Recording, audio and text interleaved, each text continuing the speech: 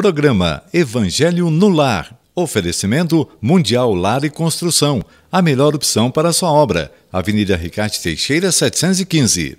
Agropan, um bom amigo do produtor rural. Avenida Senador Bueno Brandão 139. MIC Imóveis, as melhores opções para transformar seus sonhos em realidade. Praça 22 de Fevereiro 13. Rotel Engenharia e Topografia, levantamento topográfico, georreferenciamento e serviços de meio ambiente. Rua Major Bonifácio 518. Mineirada Congelados, Rua Bordeaux 116, Jardim Videiras. RTI Informática.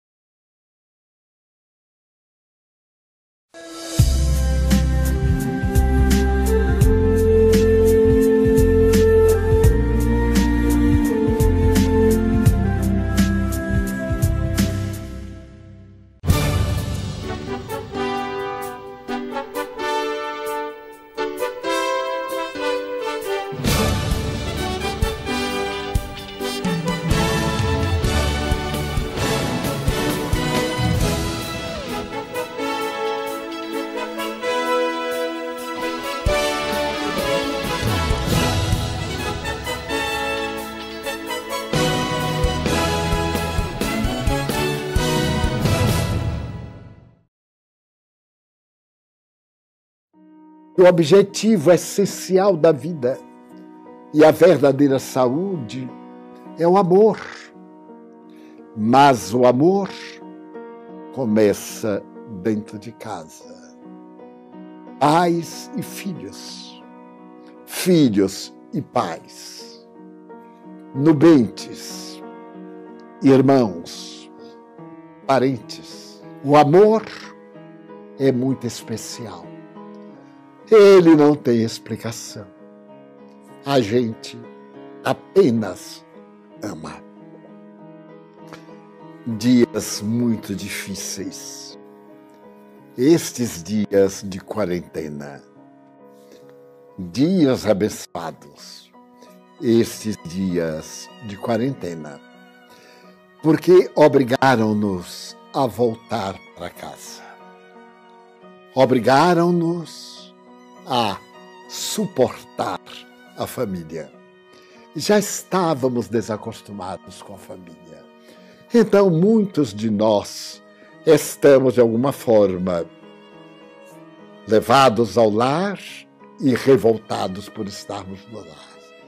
Então, que nós saibamos aproveitar este período para acompanhar a infância do nosso filho. A infância de um filho é muito rápida.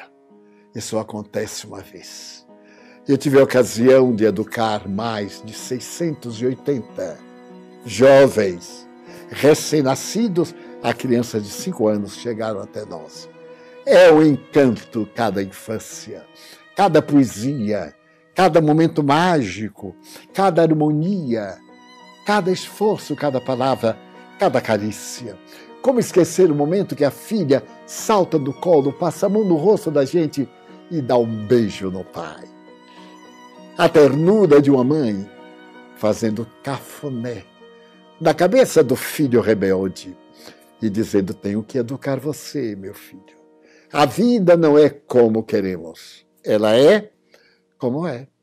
E nos submetemos aqui, pensando no pensamento de um grande filósofo, educar a criança para que o cidadão não seja punido. Deixe-me contar uma experiência que me sensibilizou muito à época. Um homem, como outro qualquer, nos Estados Unidos, numa cidade de meio porte, estava acostumado a trabalhar, manter a família, eram cinco filhos, e a esposa, afinal, era a alma da família. Ele trabalhava e ela cuidava da família. Mas ela morreu repentinamente. Teve uma problemática cardiovascular e morreu. E ele cuidou dos funerais. E de repente ele se viu de frente da pia entupida de pratos. da mesa da cozinha entupida de louça para lavar, de roupa suja por toda parte, de ver as camas ainda no estado deplorável. E então ele viu quanto Essel, sua mulher, era fantástica. Como é que tinha tempo ela para fazer tanta coisa? Porque quem duvidar do trabalho de uma mulher dentro de casa, deixe a casa sem arrumar durante uma semana e vai ver que um dia estará pisando nas coisas por toda parte. Mas então ele tentou manter o equilíbrio. E de manhã, no dia seguinte, depois passaram as lágrimas, as coisas. Um filho grita uma coisa: Papai, está na hora de ir para a escola. A menina: Papai, eu não fiz o exercício. E o pequenino John: Papai, tira esse demônio daqui. E ele foi ficando desesperado. Uma semana ele estava exausto de cuidar da casa, de lavar prato e de arrumar mesa e de vestir um, vestir outro. Eram todos menores de oito anos. Mas o momento pior foi quando duas dessas crianças estavam brincando. Era um domingo. E ele dizia: Ethel, eu não sabia que você era tão importante. Ajude-me, Ethel. E começou a chorar. Quanto ele amava aquela mulher, silenciosa, discreta, amiga, Quantas vezes brigaram? Quantas vezes reclamaram? Afinal, ele não estava apresentável. Ainda estava sem arrumar o cabelo, as outras mulheres estavam todas bonitas e ela não. Ele agora compreendeu dos sacrifícios dela por causa dos filhos dele e dela. E então ele foi para a pia. E uma menina gritou: Papai, eu tenho aqui o exercício de matemática para amanhã. Não, agora é a minha vez, gritou outra. E o pequenino John disse: Vamos brincar de esconder. E foi aquela balbúrdia, ele estava para estourar. Quando, de repente, Paul, o filho número 3, perguntou: Mas onde o John se escondeu? O John era um demôniozinho pequenino, de dois anos e meio. E disse: Papai, eu não encontro John. Ele deve estar por aí, embaixo da cama, embaixo do tapete, atrás da porta, no jardim. Deixe-me em paz. Não, papai, já procurei em todo lugar. Nesse momento, alguém toca a campainha. Ele vai atender. Era só o que faltava. Já notaram as coisas como acontecem? Como chegam nos momentos inapropriados? Era o mendigo. O mendigo disse: Oh, eu soube da morte da senhora Essel e gostaria de trazer as minhas condolências. Pois não, muito obrigado. Eu vou lhe dar. Não, eu não vim eu passo aqui todo domingo, de 15 em 15 dias, e ela me dá um pouco de comida. Não, mas não tem comida? Você não faz ideia do que está na geladeira? Não, não, não estou pedindo nada. Eu só quero apresentar ao senhor as minhas condolências. Muito bem, muito obrigado. Mas eu vou lhe dar cinco dólares. Ele pegou, mendigo, cinco dólares. É, mas dona Essel me dava sempre um pouco de comida. E às vezes ela me convidava até para comer aí na cozinha. E eu comecei a ver quanta coisa absurda também ela fazia na minha casa. E ele ficou me olhando e eu disse: Mas o que é que eu vou lhe dar? Qualquer resto de comida não faz mal. E as crianças lá brincando: onde está o John? Está o John? Ele então foi a contragosto e abriu a geladeira. Quando ele abriu, o filho estava lá dentro da geladeira estava brincando de esconder, abriu a porta, entrou, a porta bateu. Estava agora arroxeado. Ele agarrou o filho e saiu a correr de pés descalços até o hospital, na mesma quadra.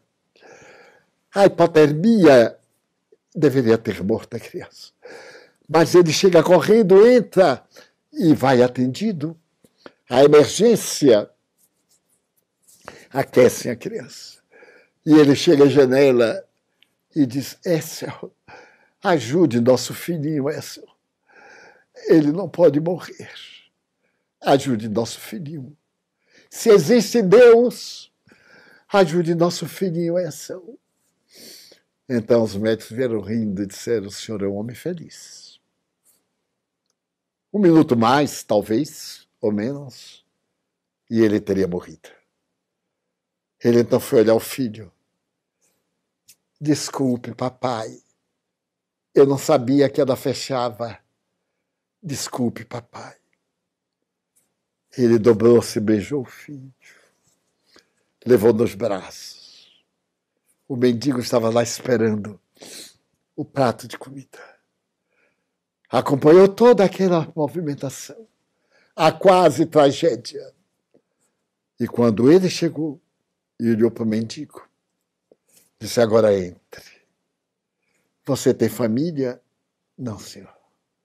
Eu sou viúvo e moro no subúrbio. Você gostaria de ser avô dos meus filhos? Mas como?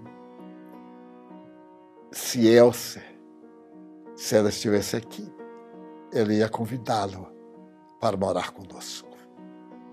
E a partir daquele dia, o mendigo de domingo foi morar na casa de Ethel. E a família, a família continuou muito bem integrada. É o amor, meus irmãos, minhas irmãs queridas. Esta é a lição da família. Tenha paciência. Eu sei que tem uns demônios e uns infantis que são os terrores vivos. Eles fazem tudo que ninguém é capaz de fazer.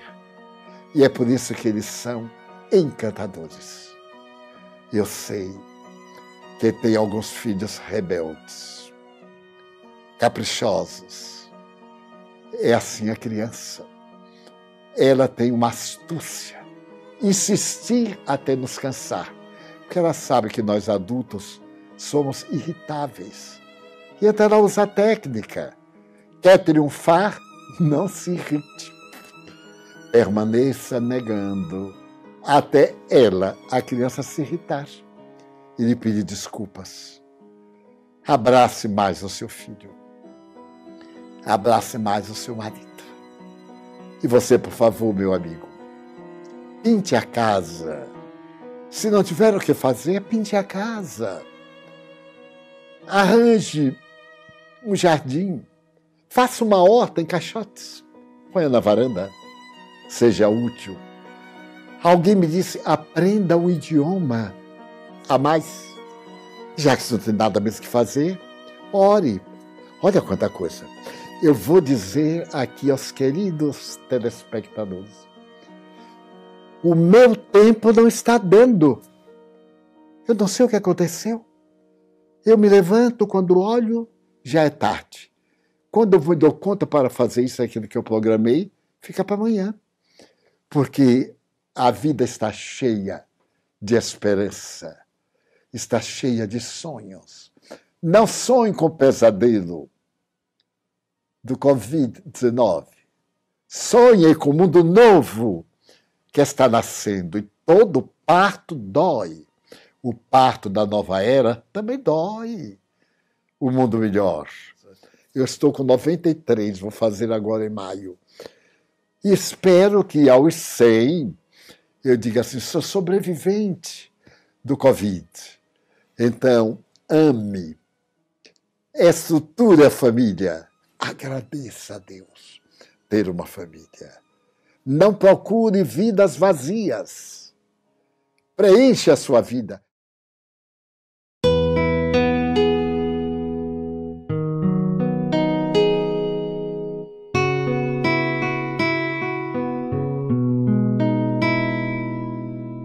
Prece de Cáritas. Deus, nosso Pai, que sois todo poder e bondade, dai força àquele que passa pela provação, dai luz àquele que procura a verdade, ponde no coração do homem a compaixão e a caridade. Deus, Dai ao viajor a estrela guia, ao aflito a consolação, ao doente o repouso. Pai, dai ao culpado arrependimento, ao espírito a verdade, à criança o guia e ao órfão o Pai. Senhor, que a vossa bondade se estenda sobre tudo o que criastes.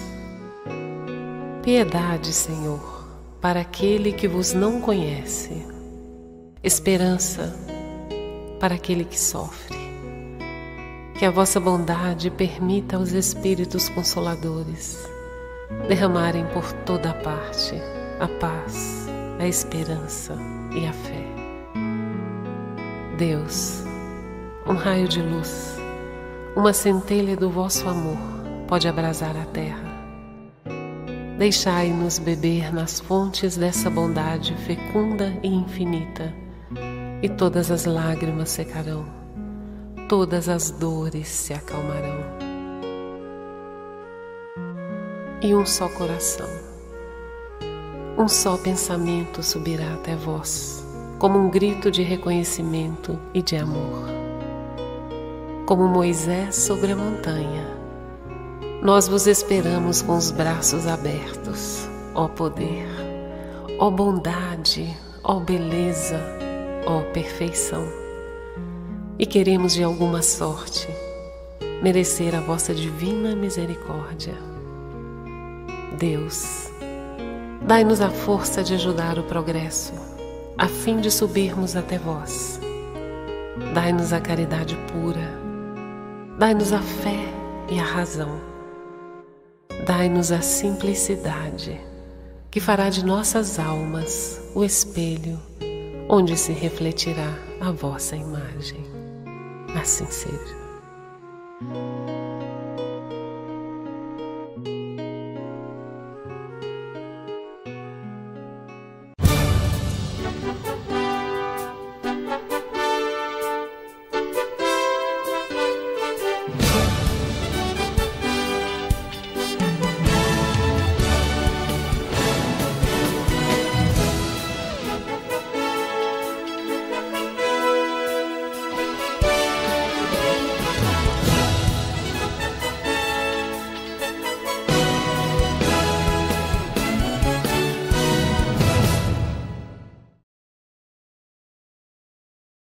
Programa Evangelho no Lar. Oferecimento Mundial Lar e Construção. A melhor opção para sua obra. Avenida Ricarte Teixeira 715.